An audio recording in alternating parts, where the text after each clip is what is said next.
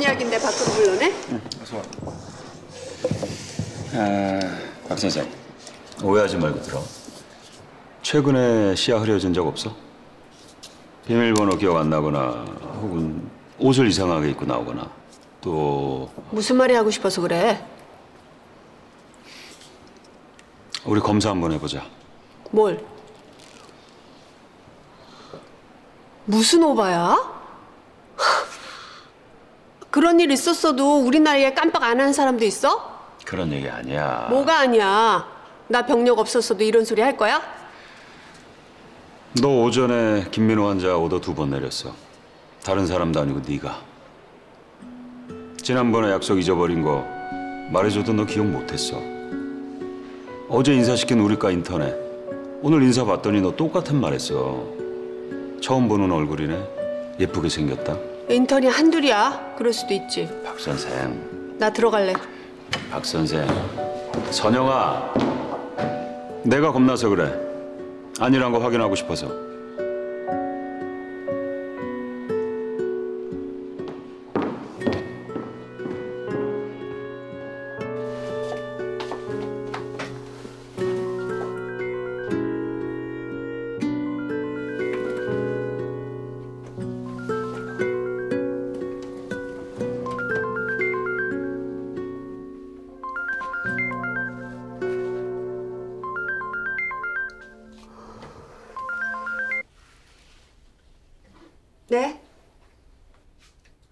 그쪽에서요?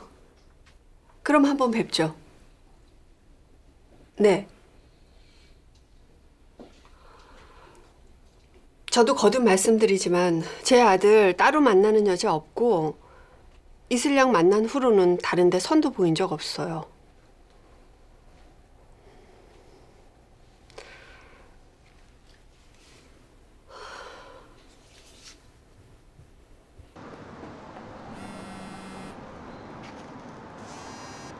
여보세요? 응, 이모. 바쁘니? 아니, 점심 먹으러 가는 길. 얘기 좀 하려고 너랑. 잠깐만. 네? 여기 찾으신 차트요. 어, 여보세요? 고마워요. 이모?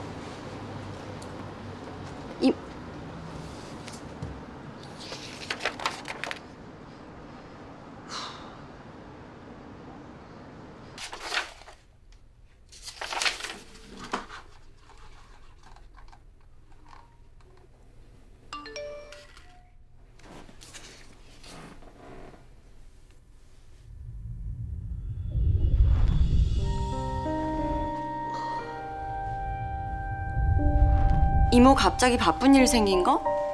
끝나면 아무 때나 전화 주세요.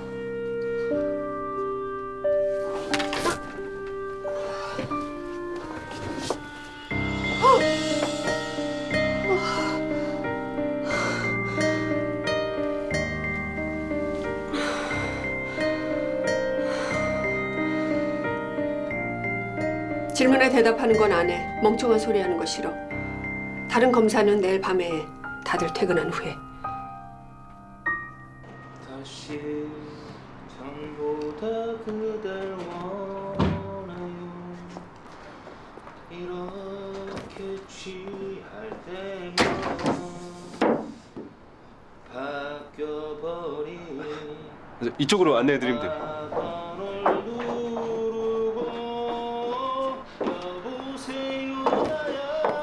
거기 잘 지내니?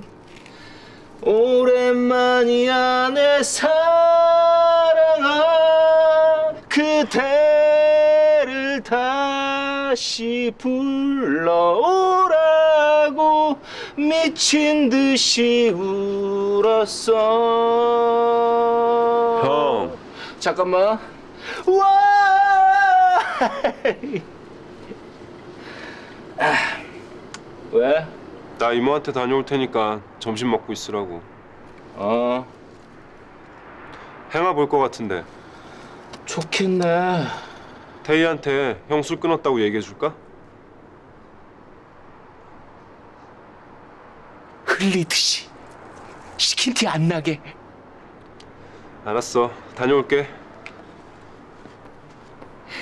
이기적인 그때의 나에게 그대를 다시 불러오라고 미친 듯이 외쳤어